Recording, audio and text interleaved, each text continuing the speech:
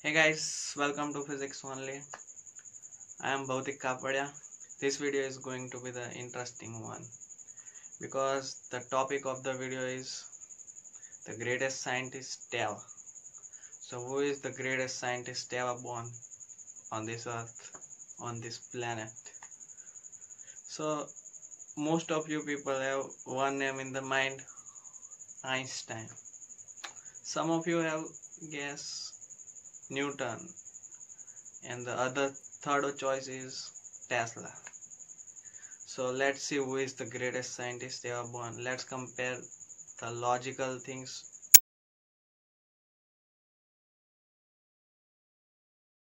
First of all, I'll start with the Newton. Newton discovered a law of gravitation, laws of motion, and he discovered a calculus. He also discovered many things, but here I am considering his some of the main discoveries. I am not going too much deeper. He is one of the co-founders of calculus because Leibniz was also founder of the calculus. Leibniz pu- published calculus, I guess, around 10 years before the Newton did. I don't know the exact time, but he published before the Newton. I am confirm about that. Let's take the law of gravitation into account. Law of gravitation states that in the entire universe, whichever the two objects are having the mass attracts each other. If we look at the examples of failure of the Newton's law of gravity, Newton's law of gravity can't explain the motions of planet, gravity waves, and the many interstellar mysteries of the space but Einstein's general theory of relativity explains it very well. Einstein's general theory of relativity also explains the gravity waves. Wait guys, before you make any conclusion, let me tell you something. Einstein's general theory of relativity fails to explain the gravity of black holes. And Einstein's general theory of relativity fails to explain many phenomena beyond the universe.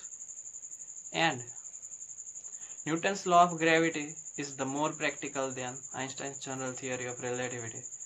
In nowadays, we still use the Newton's law of gravity to explain the many practical things and to apply in mechanics.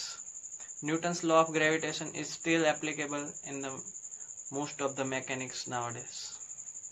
I have written the well deeper article on the relativity, black holes and the Newton's gravity I will provide the link in the description so you, you can read more about that if you are interested. If we think more, then someday someone is gonna give the more accurate th- theory than general theory of relativity. Then will be the that scientist greater than Einstein? No. Every scientist has his own story. You can't compare the scientists with each other. Why are you uh, comparing them? When Galileo published his scientific research and his scientific views by one book. There were some religious people which thought that it is against our religious laws. We can't accept the anti religious views. So he offered the two things to Galileo accept our religious views or you are going to sentence to the death. So Galileo refused their offer. So they sentenced him to the death when Galileo was about to sentence to the death, he actually thought that these people are idiots. If I won't accept their views, I am going to die. So he simply accepted their views. Galileo realized that he is near to his death. So he again started to spread the scientific research among the people. He started to influence the people. And this time he didn't hold back and this time he published his book and his scientific research and his scientific discoveries. And he was the responsible for the scientific revolution of his era. If you like this video subscribe to my channel and share it with your friends so i can reach the more people and influence them to the science. And i am trying to improve myself I'm learning the English speaking skills, public speaking skills.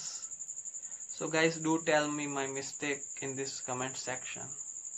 I'm recording this video at night because that there, there is a lot of noise around them. I am not able to find the silence